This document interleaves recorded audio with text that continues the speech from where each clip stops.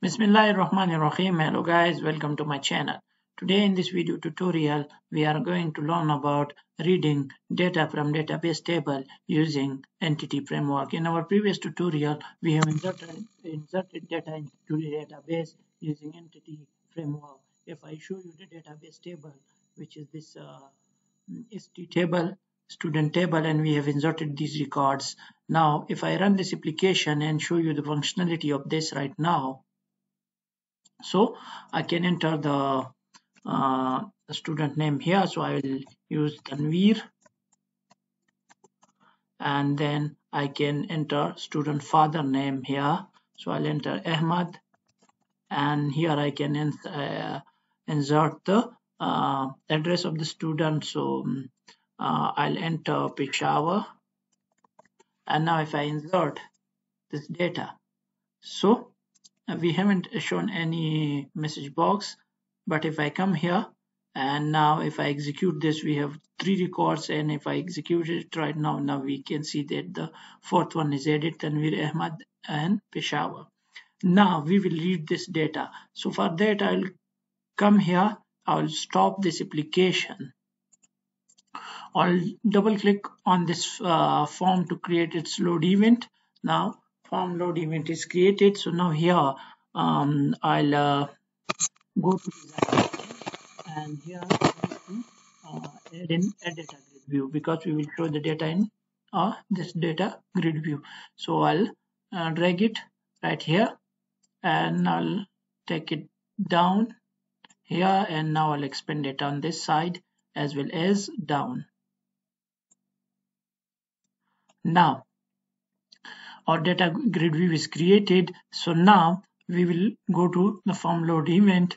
And now down here I'll create the uh, um, method for populating this data grid view. So I will use private um, um, void populate data grid view.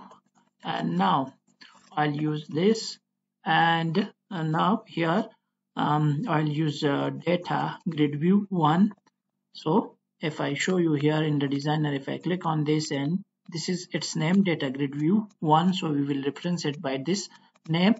So data grid view 1 dot data source. Now we have to reference our entity framework entities class. So uh, if I show you here this one and now if I expand this one now I'll expand this.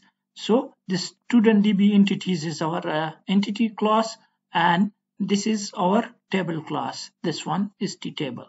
This one is our table class. We have student ID student name and so we can get the data with this. So if I go to here and uh, double click on this to its click event and then if I come here uh, to the top here and if I use the student db entities db equals new student db entities. And now I'll put semicolon here and I will use uh, db dot um, tables dot to list.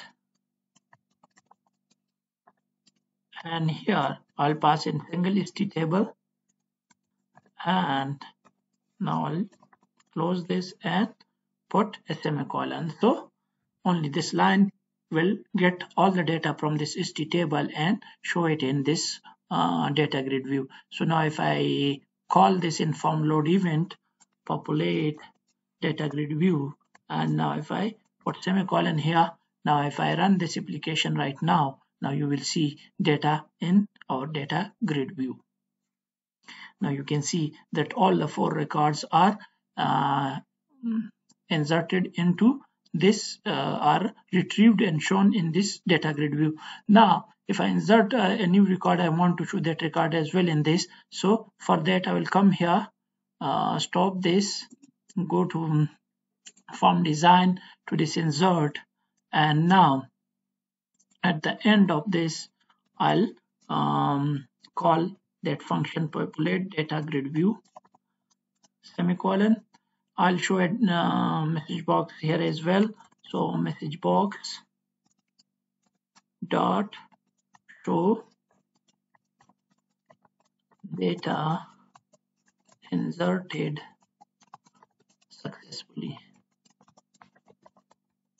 And now I'll put semicolon here. Now I'll run this application right now now the application is running. So if I enter another record uh,